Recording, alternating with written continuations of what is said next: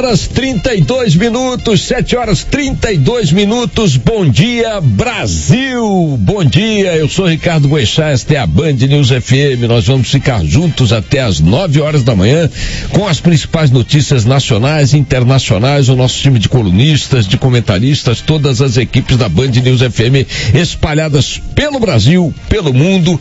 Obrigado a você, meu amigo, minha amiga que está em Orlando, nos Estados Unidos, na Flórida, acompanhando a estreia hoje da Brasil Rádio, mais uma emissora da rede Band News FM de notícias lá nos Estados Unidos ou aqui nos Estados Unidos, como queiram, notícias e música, esporte, enfim, uma programação com todos os colunistas, todos os comentaristas, todas as equipes da Band News FM para levar para levar para você também agora nos Estados Unidos, como levamos aqui para todo o Brasil, as informações de última hora, de hora alguma, as relevâncias, as irrelevâncias, sempre conectados aqui pela manhã com o Café com o Jornal do nosso Luiz Megali. Bom dia, Luiz Megali, a toda a equipe do Café com o Jornal e também a toda a equipe do Band News TV. Tá lá nossa gravatinha no Band News TV eh, com o nosso Rafael Colombo. Bom dia, Orlando.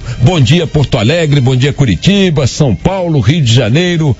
Bom dia, Salvador, Belo Horizonte, Brasília, Fortaleza, agora praças que compõem a rede Band News FM de notícias. Daqui a pouco ela vai crescer. Prepare-se porque vem mais notícias aí. Quero saber quando vão me levar para Orlando para eu poder participar de alguma coisa da rádio por lá. Estou à disposição, viu, Bruno Bendite? Bom dia.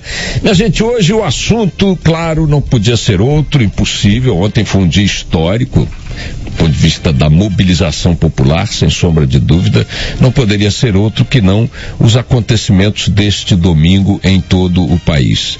É, não há quem não esteja, já não estivesse ontem é, discutindo a respeito desse fenômeno e não há quem não esteja hoje fazendo a mesma coisa. Mesmo quem não foi às manifestações foi impactado por elas, foi tocado por elas, porque elas tiveram a dimensão daquele aqueles atos de massa que tendem a mudar o rumo da história. É assim que a história é construída com as multidões nas ruas. Os maiores acontecimentos históricos em qualquer país aconteceram em função da pressão ou da mobilização popular. Não haverá de ser diferente eh, aqui no Brasil. A questão está em saber se essa pressão é suficiente para que a história mude, se o que ela demonstrou até agora, especificamente até agora, não sei o amanhã, se esta mobilização popular já é suficiente, é, com toda a sua grandiosidade, para que a história no Brasil mude de rumo, e também saber o que os agentes alvos desta manifestação detêm como trunfos, se é que ainda detém algum, para permanecerem eh, onde estão, vale dizer, para continuarem no governo, continuarem no poder. É, a, a, a discussão para mim é a seguinte: ontem foi o dia D, foi o dia D, como se convenciona chamar, todo o dia desde a invasão aliada da Normandia em 1944, em junho de 1944, o dia D, que foi o nome daquela operação, é, é, é, é sinônimo do dia decisivo. Ontem terá sido o dia decisivo para a queda do governo Dilma e do reinado da era PT para fim da era PT no poder no governo brasileiro? É uma pergunta que eu me faço e que a resposta não me surge tão facilmente assim. Muita gente, ontem, por exemplo, Antônio Lavareda no canal Livre, aqui na Band, fazendo o debate às 10 da noite, eu estava participando da mesa, previu que, como se diz no Nordeste, Dilma não comerá o milho de São João. Então, na previsão do Antônio Lavareda, a Dilma cai até junho, julho. Algumas previsões hoje nos jornais afirmam a mesma coisa. Os demais participantes da mesa eh, de ontem no Canal Livre também uh, apostam na possibilidade ou no fato de que a Dilma cairá. E eu fui a única voz dissonante, não porque queira que a Dilma fique. Então eu vou repetir.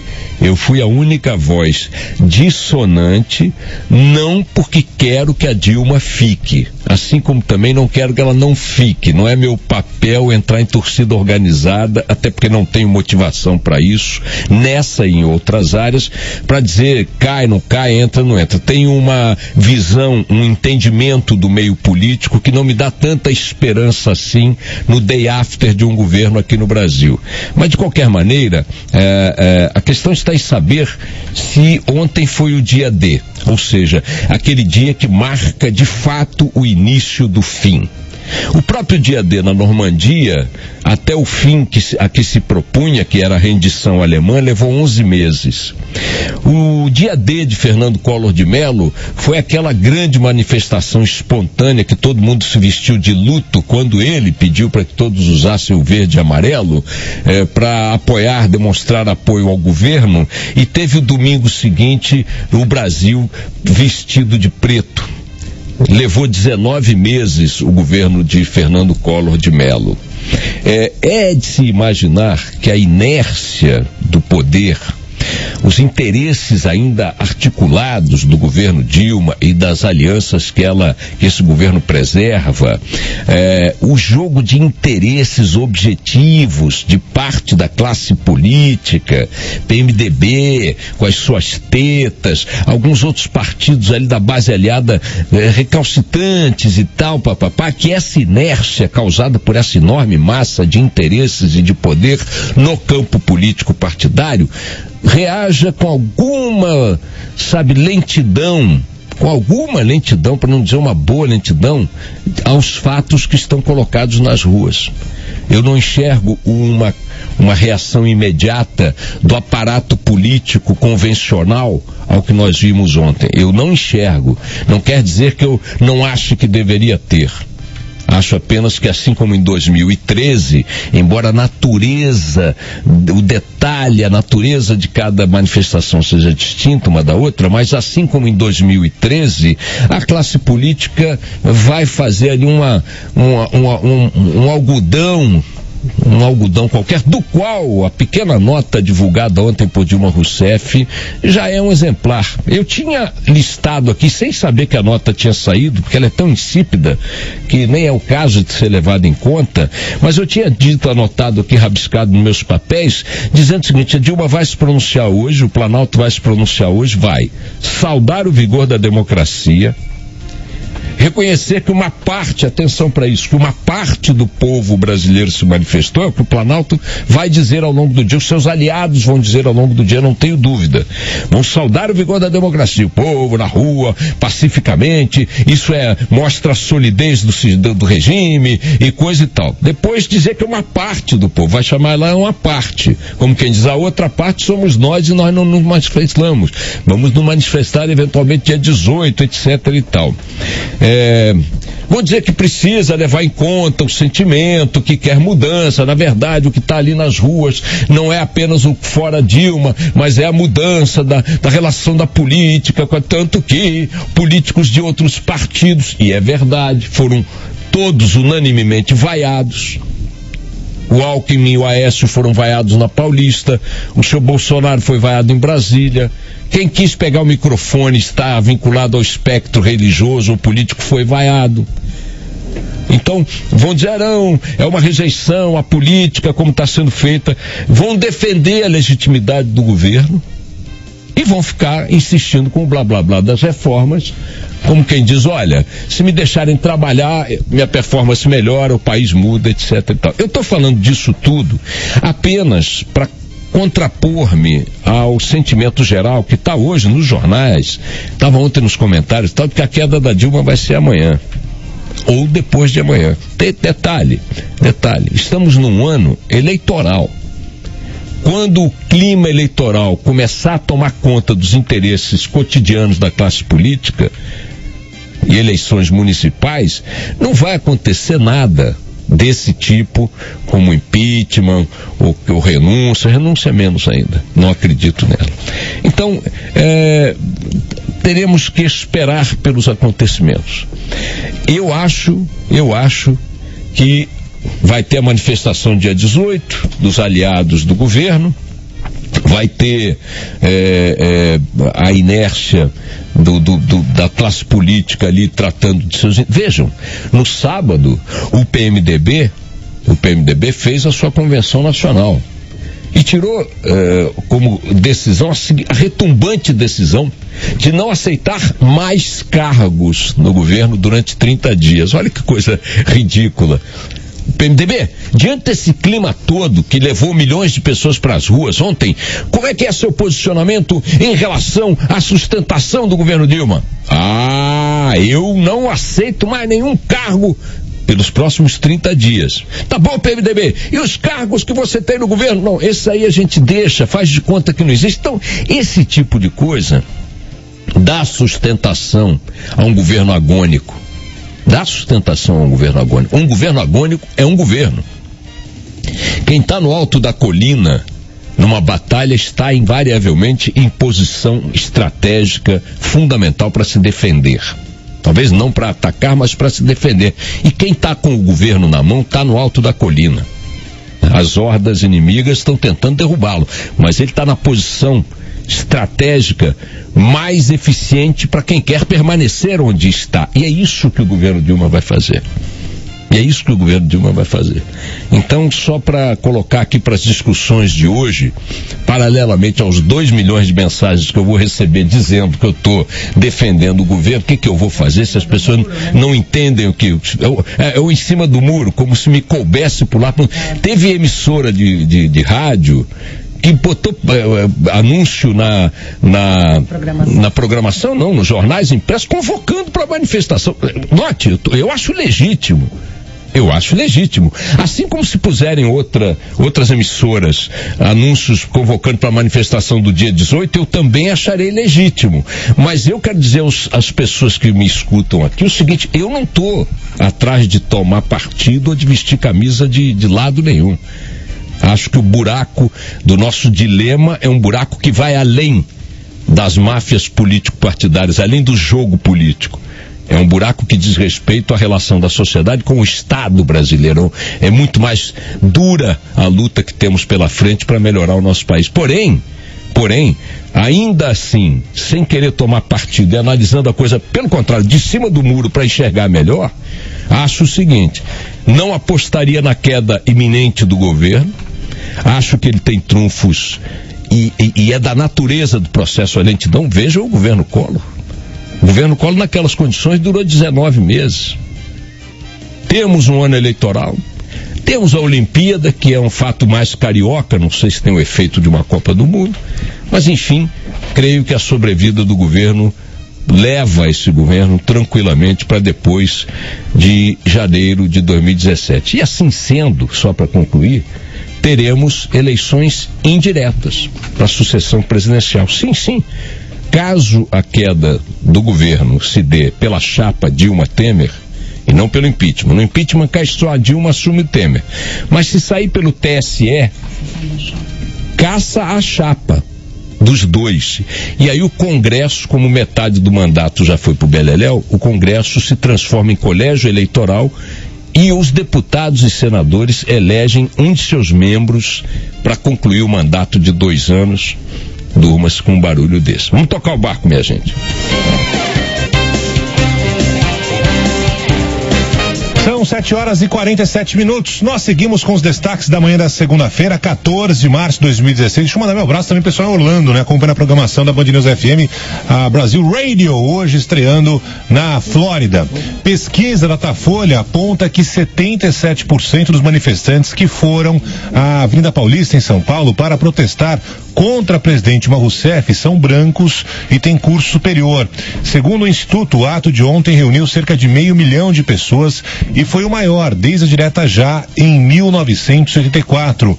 A Polícia Militar fala um número maior, 1 milhão e 400 mil manifestantes, enquanto os organizadores estimaram um público de 2 milhões e meio de pessoas. Entre os entrevistados da Datafolha, 63% afirmaram ter renda superior a cinco salários mínimos e 40% mais de 50 51 anos de idade. Quase 80% acreditam que a presidente Dilma Rousseff vai ser afastada do cargo e 96% disseram defender também a cassação do presidente da Câmara, Eduardo Cunha, investigado na Operação Lava Jato. Em todo o país, os protestos contra a presidente Dilma Rousseff reuniram mais de 3 milhões e meio de pessoas em pelo menos 300 cidades dos 27 estados, além do Distrito Federal. Público que superou o verificado em março de 2015. Os números da Polícia Militar. Os organizadores falam em quase 7 milhões. No Rio de Janeiro, a PM não divulgou uma estimativa oficial de público em Copacabana, mas os movimentos que convocaram o ato falaram em mais de um milhão de pessoas. Em Bra... Fala aí, Boixão. Deixa eu só fazer um parênteses para falar de números. É, vamos falar de ontem. Segundo a PM, tá? As PMs, no caso. Estiveram reunidos ontem nas ruas 3 milhões e 600 mil pessoas. 1 milhão e 400 mil só na Paulista. Eu queria aqui abrir um parênteses para dizer o seguinte: a dimensão do evento em São Paulo está num patamar diferente da dimensão. E o Rio de Janeiro também foi bastante expressivo. E a PM não contou. Não contou, mas tá, tão, estão num patamar é, é, distinto da dimensão dos eventos no, no, no, restante do país, tá? Não que estes tenham sido é, pequenos ou irrelevantes, não. É que o da Paulista foi um assombro. O do Rio de Janeiro também foi bastante expressivo, mesmo assim não tanto quanto o da Paulista. O da Paulista é, foi um daqueles momentos da história, tá? Então, feito, fecha o parênteses. Então, as PMs, atenção aí se você quiser ter esse número na cabeça, as PMs de todo o país calcularam que ontem estavam nas ruas 3 milhões e 600 mil pessoas, sendo 1 milhão e 400 mil só na Avenida Paulista. Em, em março de 2015, este mesmo cálculo das PMs estimou que em todas as ruas do país estavam 2 milhões e 400 mil pessoas. Então, aumentou de 2,400 para 3,600, ou seja, aumentou em 800 mil. É, é, importante dizer o seguinte: para os organizadores, ontem eram 6 milhões e 800 mil, e para os organizadores em 2015 eram 3 milhões. Ou seja, para os organizadores, dobrou, mais que dobrou. Enquanto o Datafolha não fez esse cálculo nacional. Já o cálculo nacional do Datafolha é, é, ontem ao contrário de 1 milhão e 400 mil da PM, o Datafolha estimou 500 mil na Avenida Paulista e os organizadores 2 milhões e meio. Primeiro dizer o seguinte, como é difícil a matemática num ambiente político muito rachado, muito conturbado. Vejam que as diferenças são diferenças que desqualificam pelo menos dois desses cálculos. Um deles está certo é o mais próximo da realidade. E os outros dois estão distantes entre si, tanto os três estão tão distantes entre si, que estando um certo, os outros dois são chutes grosseiros. Pode ser o Datafolha, pode ser a PM, pode ser é, a dos organizadores. E para concluir, minha gente, eu queria dizer o seguinte: de março de 2015 para março de 2016, passou-se um ano um ano de absoluto, total, constante, implacável, ininterrupto desgaste de Dona Dilma, de tudo que diga respeito a ela, inclusive da economia que ela não administra. É, em outras palavras, o nível de, de deterioração do governo alvo das manifestações é hoje assombrosamente maior do que era em março de 2015. Em Brasília, pelo menos 100 mil manifestantes, segundo a PM, protestaram na esplanada dos ministérios. Em todas as regiões, as reivindicações foram além do impeachment da presidente Dilma Rousseff. A gente tem que sair na rua, tem que manifestar a indignação, a, a, a vontade de mudança do povo, porque basta de roubalheira, basta de corrupção. Está precisando de uma faxina ampla, geral e restrita. Qualquer um que esteja afim de um Brasil melhor, tem que estar tá aqui. A gente está vendo que tem muita coisa errada, tem muita coisa para melhorar. Eu sou anticorrupção. Eu, eu quero que mude o Brasil, a, a galera se conscientize e saiba realmente que está na hora de mudar, né? Já basta. O que me trouxe à rua foi a indignação em relação a todos os políticos partido nenhum com unhas e dentes, como muita gente faz. Eu estou defendendo aqui o Brasil e a ética. Vejam só como é que é interessante a comparação com a manifestação de, as manifestações de 2013, até então as maiores, e ainda continuam sendo, é. do ponto de vista nacional, as maiores. Pela já, frequência já também, né, Bush? É, foi pela. Atos sucessivos, né? De é, dias. 2013, sendo que os maiores atos foram maiores que o de ontem, se você considerar o país, tá certo? A paulista não. Mas o fato é o seguinte, vejam a semelhança do, do discurso de 2013 e de hoje. Você tinha gente na rua em grande número que quer mudar o país, que não quer esta classe política que aí está. É a coisa do mudar tudo, sou contra tudo, etc e tal. Vejam que os políticos que se aventuraram ontem a circular pelas ruas para é, é, capitalizar um pouco da oposição ao governo atual foram vaiados. Então, há uma, um, um, um, componente no protesto de ontem, nos protestos de ontem, que vai além do fora Dilma. E o governo não é burro, o governo vai percebe isso, conhece isso e vai sair por essa tangente aí.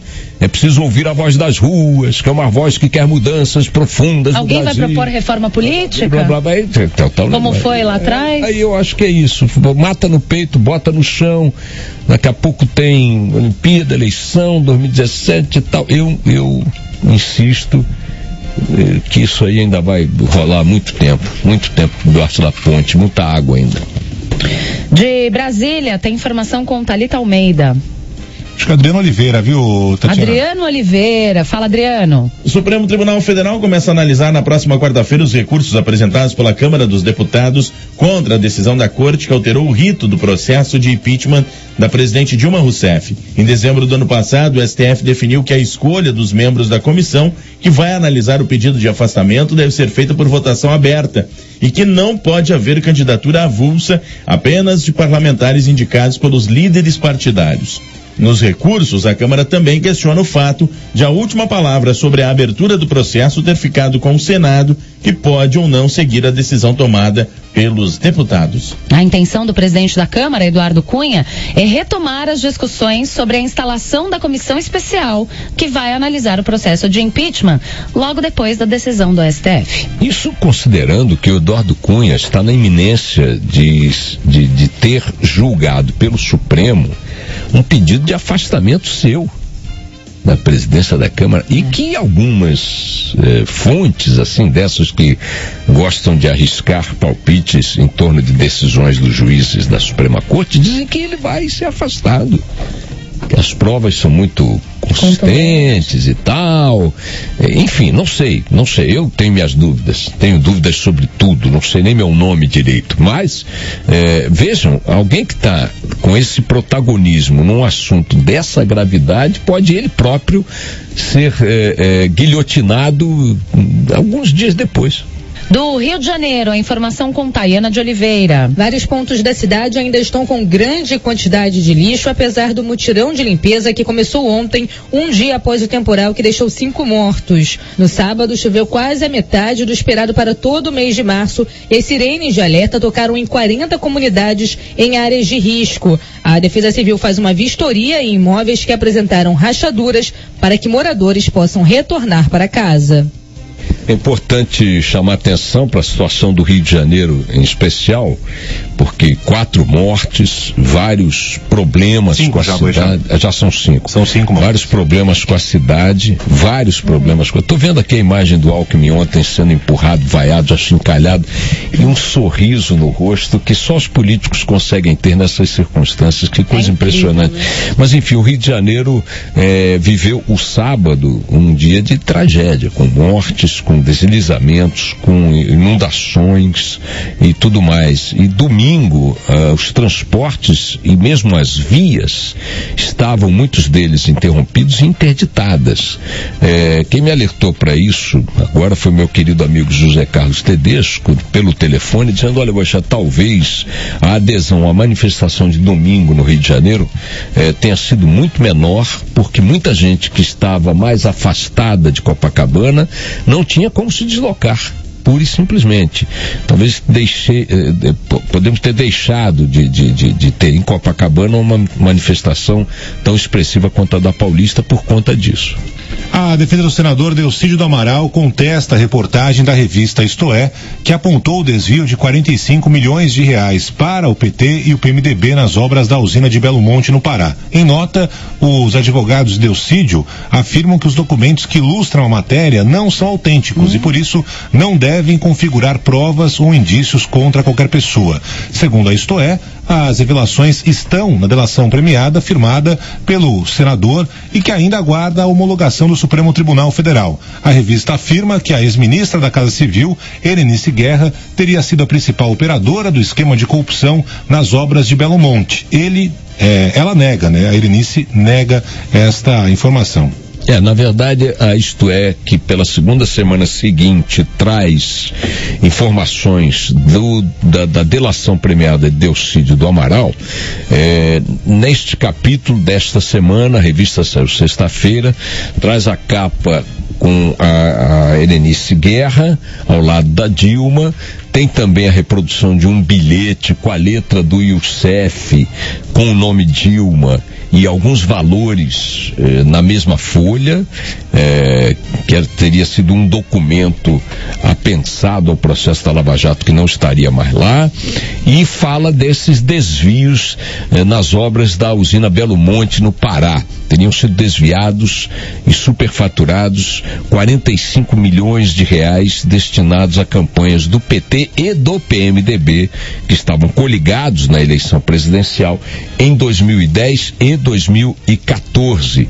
A negativa do advogado Delcídio do Amaral é esperada, considerando que não há homologação da, da premiada e que qualquer vazamento pode condená-la ao fracasso.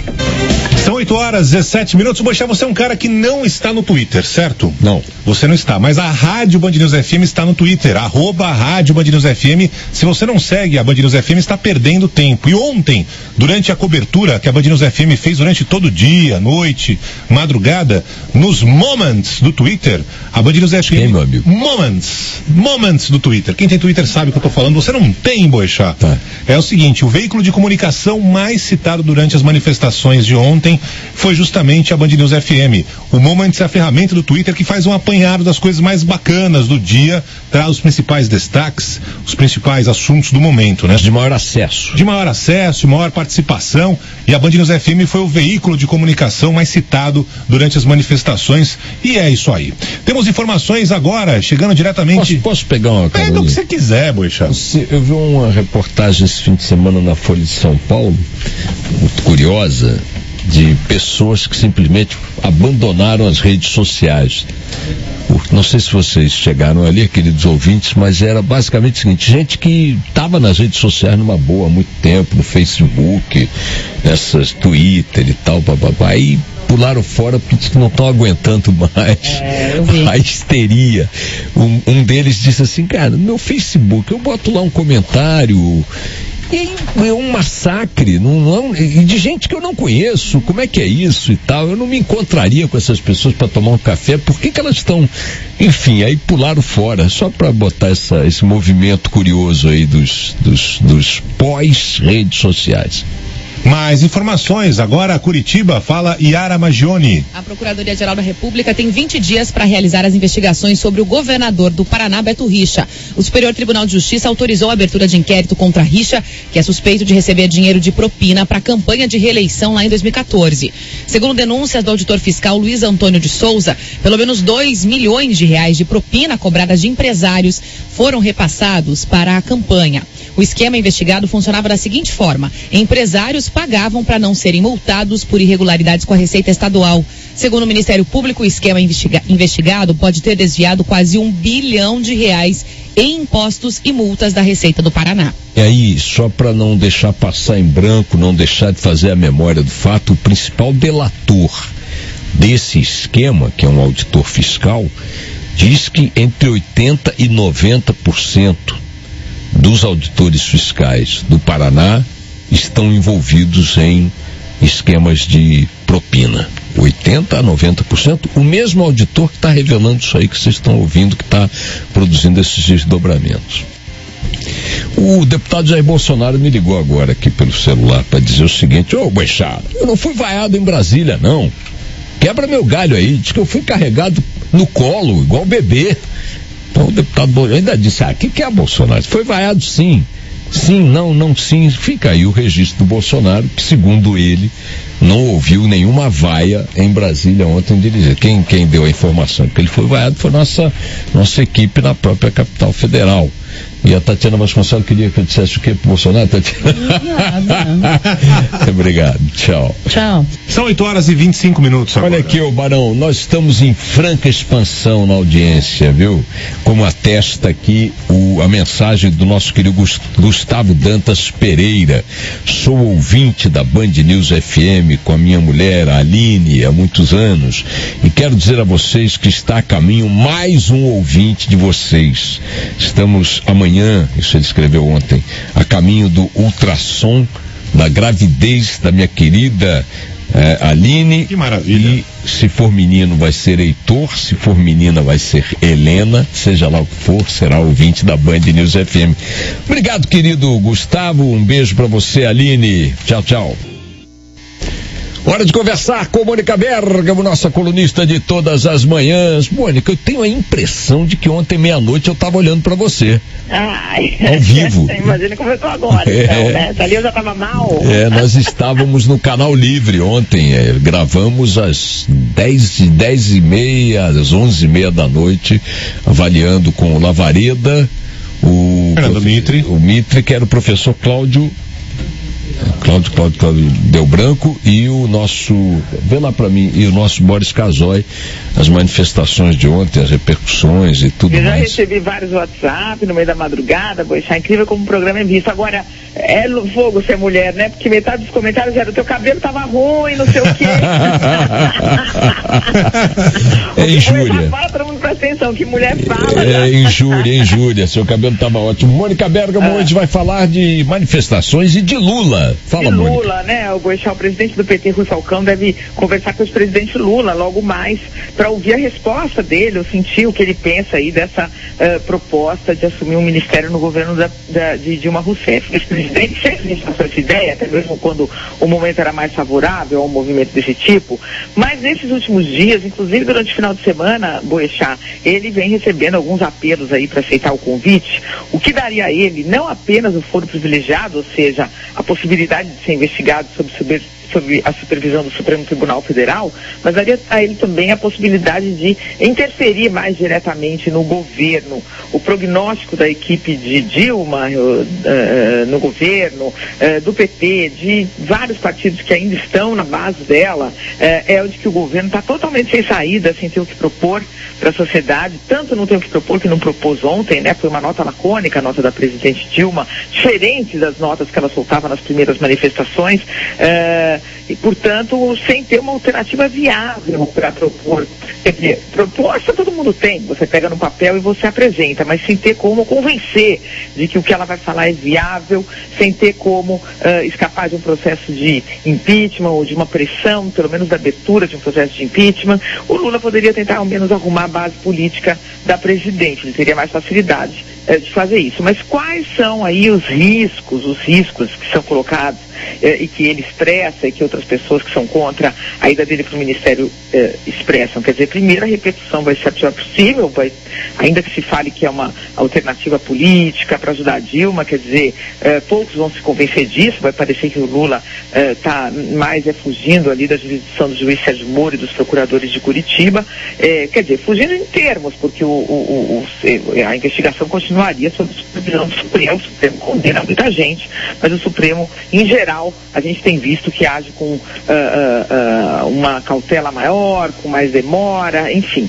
Segundo, nos riscos ainda da ida do presidente Lula do ex-presidente Lula para o governo, quer dizer, é o risco muito grande de todos os problemas do governo caírem dire... o risco não, a certeza de que os problemas do governo vão cair diretamente no colo dele, sendo que o maior desses problemas é o desemprego causado pela recessão. Ou seja, o Lula, que até hoje é visto como o melhor presidente de todos os tempos por 37% da população, apesar de todo o seu desgaste recente, há uma lembrança daqueles bons tempos do governo Lula, eh, ele passaria a responder diretamente por um governo que promove recessão, por um governo que tem aí um alto índice de desemprego, problemas hoje que estão no colo de Dilma passariam para o colo diretamente dele. Ele queimaria aí parte do patrimônio que ainda tem, ainda que arranhado, ainda que muito questionado, mas ainda tem esse patrimônio muito forte, quer dizer, hoje, é, para tentar salvar um governo, um governo da Dilma, que nos últimos anos só seguiu conselhos dele em situações limite de extrema, uh, de extremo aperto,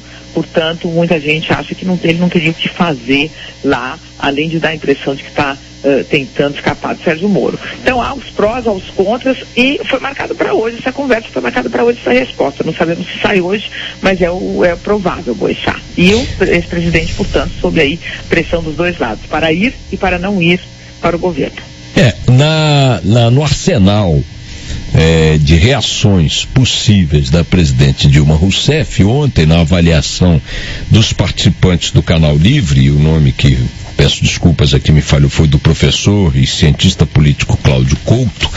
É, na avaliação do Cláudio Couto, do Lavareda, do Mitre, da Mônica, do Boris Casoy, enfim, da bancada de ontem do Canal Livre, a Dilma não tem mais nada na manga capaz de produzir um fato novo e tal, exceto essa eventual é, é, entrada, ingresso do Lula no Ministério Dilma para cuidar da coordenação política. Esse seria um fato político novo e talvez com alguma eficiência, se não uma grande eficiência, pelo menos alguma eficiência, especialmente à luz da eficiência demonstrada até aqui pelos articuladores políticos de Dilma, todos eles desastrosos.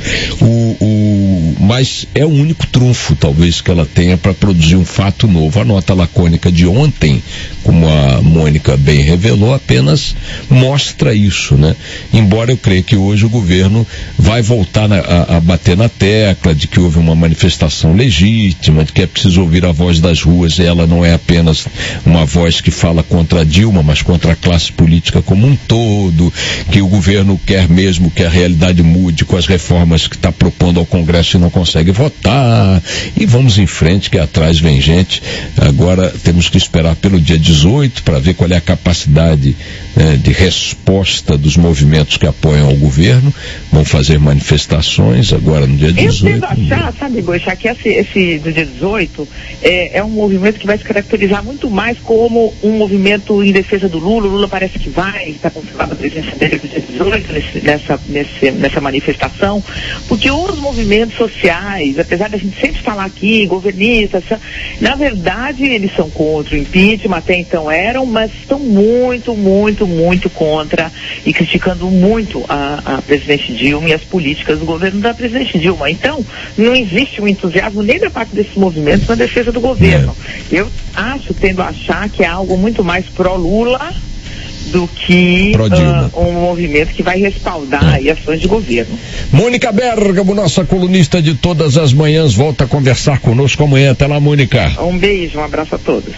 Deixa eu agradecer ao nosso ouvinte Ibrahim e corrigir uma informação aqui. O dólar comercial na sexta-feira passada caiu e não subiu. Caiu 1,38%, vale nove centavos. Obrigado, Ibrahim. Expectativa hoje em relação ao comportamento do mercado, à luz das manifestações de ontem. Né? Será que a bolsa continua sua trajetória de alta e o dólar de queda? Tivemos quatro quedas ou cinco quedas sucessivas do dólar semana passada. 8 horas 41 minutos, quase 42. Hoje, como vocês sabem, começou a operar a nossa Brasil Rádio em Orlando, ou Brasil Radio, como querem que eu diga aqui, mas meu inglês é um horror. 93.1 FM 810 AM, Boixá. E é com muita alegria que eu vou conversar agora com uma ouvinte da Brasil Rádio em Orlando, a nossa Adriana de Santana Guedes.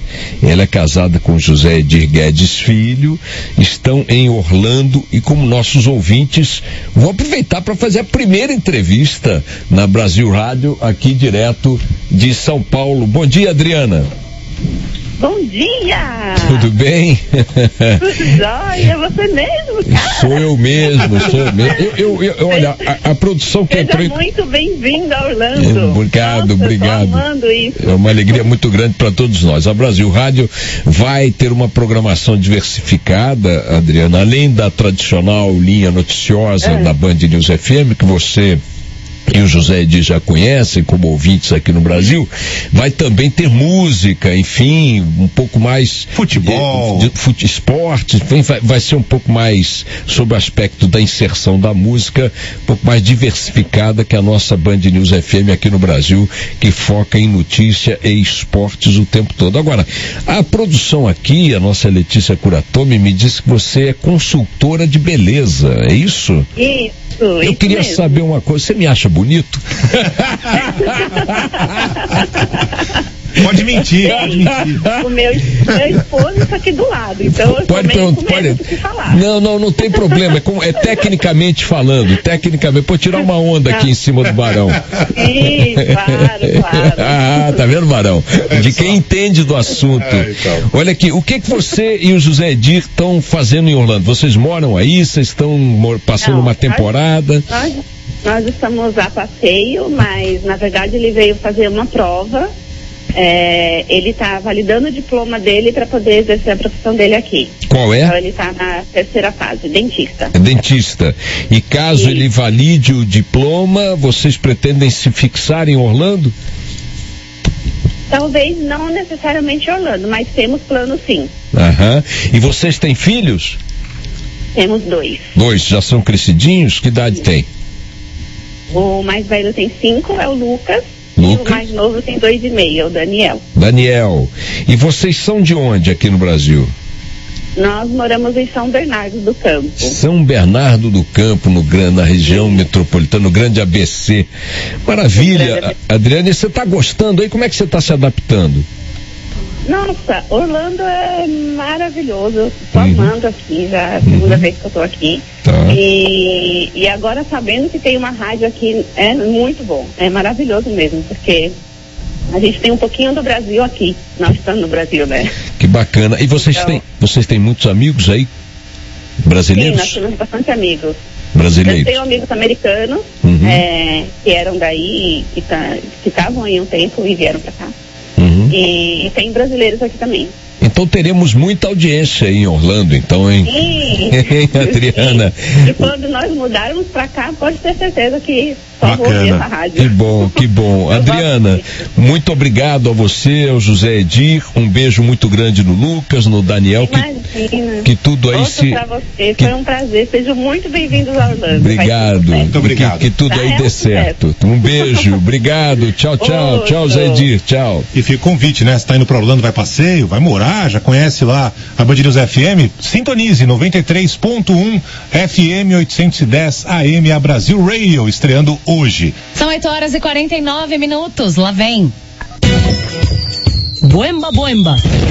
Com José Simão. Oferecimento Shopping da Bahia. Mais que o nome, uma declaração de amor.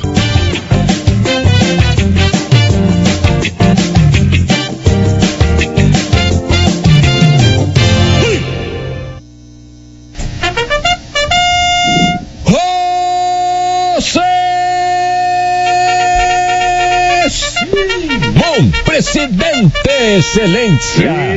Maravilhoso! Presidente, Sol das minhas manhãs. é. Acorda É isso, macacada. Colosso de Rhodes da Band News FM. trabalho. Al trabalho. Presidente, o PGN se fará presente sozinho nas ruas numa manifestação cuja data veremos de marcar nos próximos 15 anos, correto, presidente? Co- Como é que é? Atacuma é? Como é que é a pergunta mesmo? Atacuma é? Acumaé. o, o PGN vai O convocar. nosso partido da Isso. genitália nacional. Estamos nos preparando para as eleições municipais. Daqui a pouco começa a, a campanha, a temporada eleitoral, mas nós faremos também uma manifestação de Dia mar... 1 de abril. É isso. Vamos, vamos marcar nos próximos Vamos 15 encher o anos. Excelência. É. A música, o pensamento Ah, do dia. peraí. Um minutinho. Peraí, Claro, então Ah, essa é fizemos perfeita. uma trilha nova. O pensamento do dia com José Simão. É, não é o pensamento, é sorte do dia. É, também serve. Você não é a Dilma. Ufa, graças a Deus. Já é um alento. Agora, você. Não, já pense bem. É. Você acorda Hum, numa segunda-feira, hum, cansado, hum, com preguiça, hum. querendo dar aquela esticadinha de cinco minutos, Lembrando das dívidas. lembrando a Dilma não pode, É. tem que trabalhar. Isso. Aí você pensa, pelo menos eu não sou a Dilma. Aí, oba, já pula da cama, vai pegar o metrô. Animadão. Esse, esse negócio da Dilma é tão, tão maluco, tão engraçado. Tem, tem a sua parte caricata.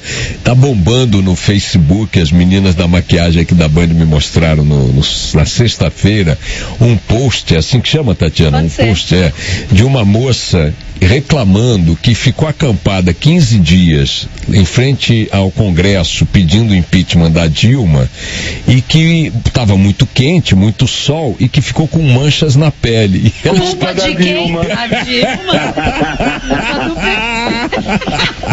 Ela estava pé da vida esculhambando a Você Dilma. está com sardas? É. Culpa da Dilma.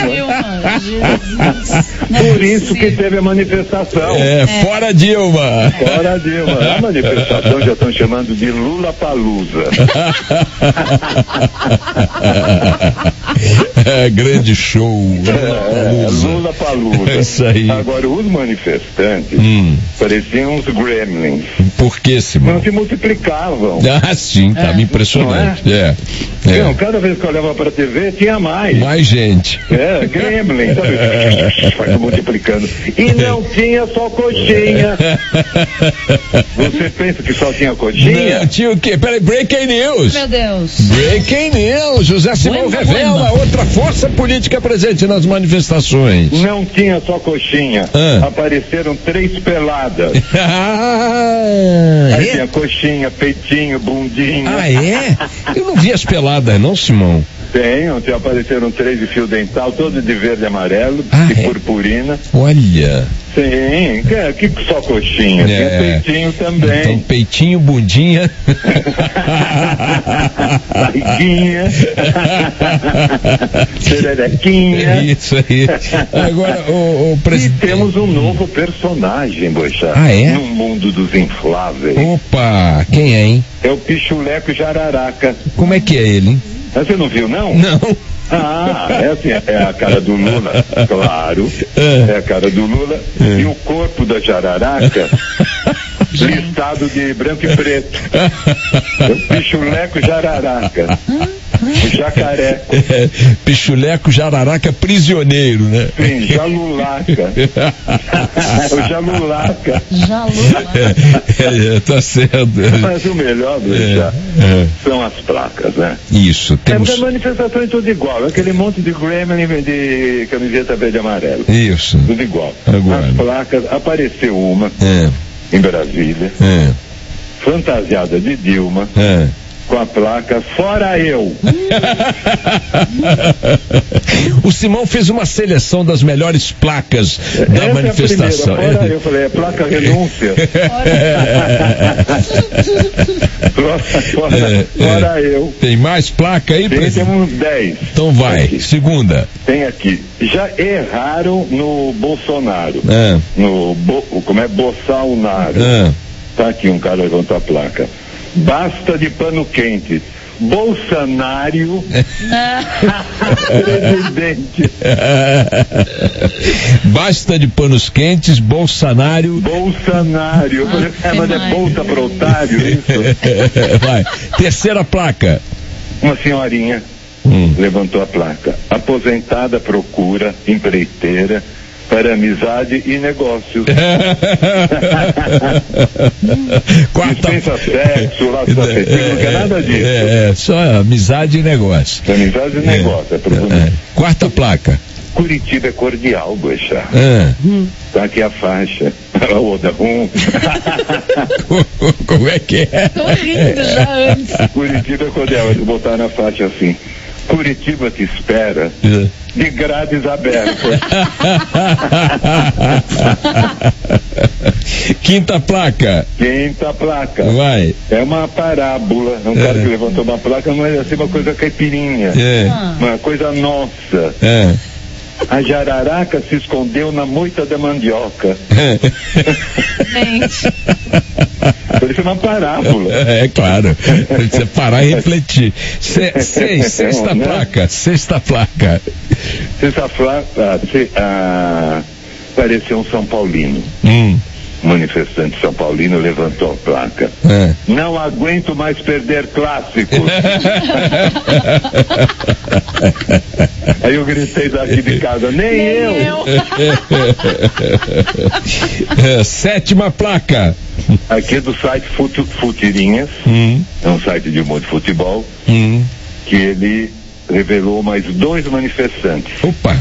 Tá, o Neto, o Neto do programa de esporte. Uhum, nosso craque. É. Sim, o nosso craque Neto levantou a placa pelo fim do escanteio curto. Diga-se de passagem. Escrito tudo errado, evidente, né, Neto? Oitava. Luxemburgo. Ah, Luxemburgo também estava. ah. Com a placa, o Brasil precisa de mais projetos. Nona. Não, eu falei, mais projetos e menos Luxemburgo. né? Projetos pra levar pra China. Vai, Então, a nona. nona e a décima É. é que eu escolhi duas das melhores placas de todas as manifestações. Aham. Que é a primeira, Hum. tomada de três pinos. Eu amo essa. Só essa porra já merecia um impeachment. e a outra? Então já Dilma quer atender as vozes da rua, Da massa. da massa, como, como ela pretende, É. a volta da tomada de dois pinos. Claro, é o Pronto. mínimo que podia fazer pelo Brasil. Não é? E que mais? Que mais? Décima, essa eu também achei o máximo, é uma das melhores. É. Pelo fim do sutiã com bojo. Chega de ser enganado. Essa é muito boa. Hasta amanhã, presidente. Amanhã, Tchau. Pensa Brasil. Saúde. Com o doutor Edmilson Migovski. O nosso saudoso Joelmir Betting, eu, eu sinto muita saudade do Joelmir, viu? Figura maravilhosa, profissional maravilhoso, amigo maravilhoso, pai e avô maravilhoso. Tem histórias do Joelmir maravilhosas. Coisas rápidas aqui. Dizia: a, a loucura tributária no Brasil é tão grande, a loucura fiscal, que os remédios pagam mais impostos do que os produtos veterinários. De tal forma que se você chegar numa farmácia falando, você paga 10. Se chegar latindo, paga 5. E ele contava sempre outra coisa que era a seguinte: depois das enchentes nos países desenvolvidos, vem a faxina. Você tem uma enchente na Alemanha, você tem uma enchente na Bélgica, você tem uma enchente enfim, nos Estados Unidos, o que, no Japão. O que, que acontece depois das enchentes? A faxina, a limpeza. Aqui no Brasil, dizia ele, completando o raciocínio perfeito, depois das enchentes vem as doenças. E é sobre as doenças que se sucedem, que sucedem, perdão, as enchentes, que o Edmilson Migovski vai falar hoje aqui no Pensa Brasil Saúde. Bom dia, Migovski. Bom dia, Boixá, bom dia, ouvinte da Band News FM. Realmente, né, aquela história, né? São as águas de março fechando o verão. E você começa a ver um monte de absurdo nas ruas, né? Primeiro, Boixá, que o, a- o tipo de doença vai variar de acordo com o tipo de contato, né? Contato com a água, você tem, obviamente, o risco muito elevado de leptospirose, que é uma bactéria que penetra de uma forma muito ativa na sua pele e que pode dar um quadro renal grave, hepático grave, pulmonar grave, inclusive levando à morte. Então, a leptospirose pelo contato com a água, assim como também algumas parasitoses que penetram de uma forma muito ativa na pele. Existe também o risco pela ingestão dessa água contaminada. né, a hepatite A e algumas parasitoses, como a ameba, como giardia. E também o risco pelo acúmulo de água em locais que não seriam os mais favoráveis, enchendo os pneus, as garrafas PET que foram jogadas nos leitos das valas e dos rios. Então você tem a possibilidade de proliferação de mosquito, acidentes com cobras, escorpiões, aranhas, enfim, uma gama enorme de doenças que podem ocorrer em função disso. Então vai a dica para os nossos ouvintes. Quanto menor o tempo de exposição a essa água e lama, melhor. Não é aquele ditado, ah, estou molhado, molhado e meio. Não é bem assim. Quanto maior o tempo de exposição e quanto maior a superfície do seu corpo em contato com essa pele, maior o risco de doença e maior o risco de doença mais grave, porque a carga do agente infeccioso aumenta muito com a exposição maior. Por exemplo, ficar um dia inteiro dentro de uma água de, de um balão é muito mais perigoso da leptospirose do que ficar meia hora. Então, quanto menor o tempo de exposição, melhor. E no que for limpar a sua casa, utilizar água e sabão, cloro nas partes que são possíveis de limpar com água sanitária, por exemplo, o chão da cozinha, o ladrilho, essas coisas. E para terminar, para fazer aquela limpeza final, realmente dando um, um, detalhe na limpeza, é o álcool a 70%. Mas essa pessoa, Boixá, que vai fazer essa limpeza, tem que usar galocha ou usar um saco plástico no lugar de meia, com um chinelo ou um tênis por cima, para evitar o contato dessa água lama com a sua pele. Ô Migovski, é, deixa sim. eu te interromper, porque boa parte do, do arsenal aí, da, da, né, da intendência do, do, do que você está aconselhando, não está muito ao alcance das pessoas mais expostas a esse tipo de, de, de problema. Sim. Nessas comunidades pobres, não há, pouca, pouca gente deve ter galocha, pouca gente deve ter álcool em casa ou coisa do certo. gênero. Qual seria para uma população mais geral, a, a, a, melhor providência mais acessível e de melhor eficiência relativa? Lavar as mãos, por exemplo? Excelente. Seria é lavar as mãos, óbvio, mas assim, é, no contato com a limpeza, né? Usar saco plástico nos pés e saco plástico isso. nas mãos, para evitar pisar nessa. Usar o saco plástico, deixar uhum. como se fosse uma meia. Tá. Abaixo do é, assim, o sapato por fora, é, sim, não claro. fura o saco, né? Uhum. E você usar cloro, o água sanitária não é caro e você pode utilizar. Só que o, o cloro você não pode, por exemplo, limpar a geladeira com cloro na parte de metal, porque estraga, né? Então nessas partes que não são passíveis de você fazer uma boa higiene com o cloro, água e sabão costuma ser suficiente para matar boa parte das bactérias e vírus que se encontram na água das enchentes. Edmilson que volta a conversar conosco na segunda-feira que vem, sempre aqui com uma notícia, um conselho, um esclarecimento sobre saúde, a sua saúde, a saúde pública, sobre as novidades da medicina. Edmilson, um grande abraço e até semana que vem. Até semana que vem, galocha, hein, Poxa, não bobeia com as galochas, saco plástico. Um abraço. ok, tchau. tchau.